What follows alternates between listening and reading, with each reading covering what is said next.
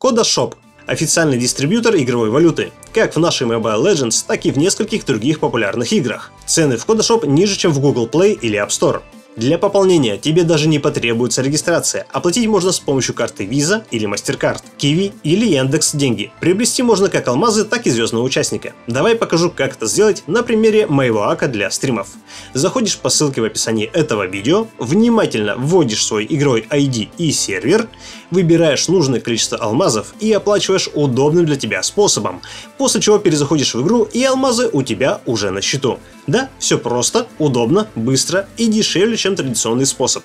Для удобства можешь сохранить мои ссылки в закладках. Период с 17 июля по 22 июля будет раздача призов в виде кодов на почту при пополнении банковскими картами. Пользователь обязательно должен ввести свою почту, иначе не получит подарок. Самые активные 10 пользователей получат облик звездного участника Сильвана от Мунтунов.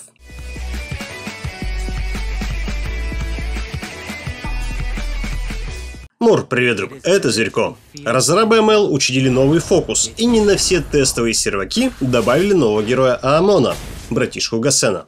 Но приложив усилия, я таки получил нужный сервак. Давай разберем этого фаната BTS.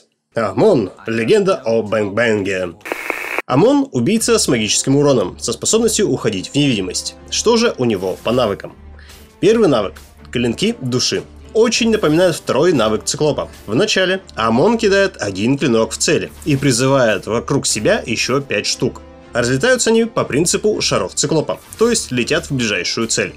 Отмеченная цель получает бонусный урон от каждого клинка, но если целей будет несколько, то урон разделится.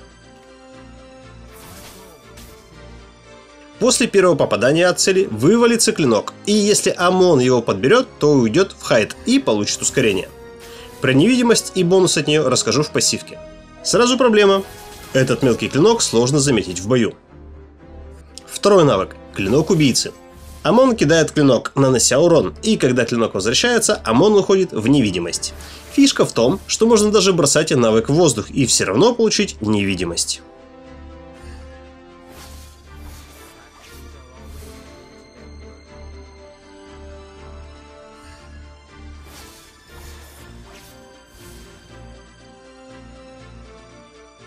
Ульта – бесконечные клинки. Напоминает усиленный первый навык. Притом, если у цели здоровье ниже 30%, урон возрастает в половину. Клинки могут атаковать и вторую близкую цель, но атакуют только две геройские цели и одну негеройскую. Такое разделение усложнит ганг в лесу.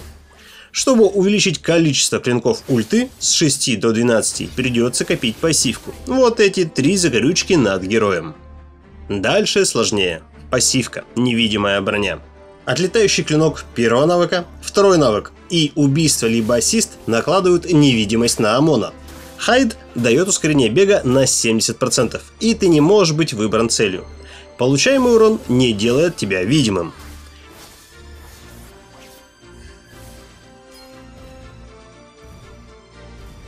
Первая базовая атака из невидимости телепортнет тебя к цели, и несколько следующих атак будут с увеличенным уроном и дальностью. Урон вместо физического станет магическим. Длится обкаст 2,5 секунды. Каждый удар, нанесенный заряженной атакой, ускоряет перезарядку первого навыка на полсекунду. Итак, чтобы усилить ульту, надо собрать 3 стака клинков над головой. Один стак ты получаешь за подобранный нож первого навыка, Второй стак, если твой второй навык заденет какую-нибудь цель, ну а третий за убийство ассист противника. С достаточно быстрым КД можно обойтись с первыми двумя способами. Что по ощущениям? Ближнику подбирать еле видимый клинок на земле неудобно. Его однозначно сделают более заметным.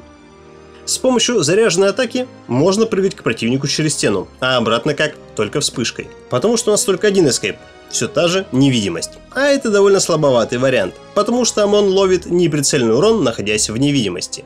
На мой взгляд, сам урон у ОМОНа довольно слабоват, но я уверен, его еще поднимут.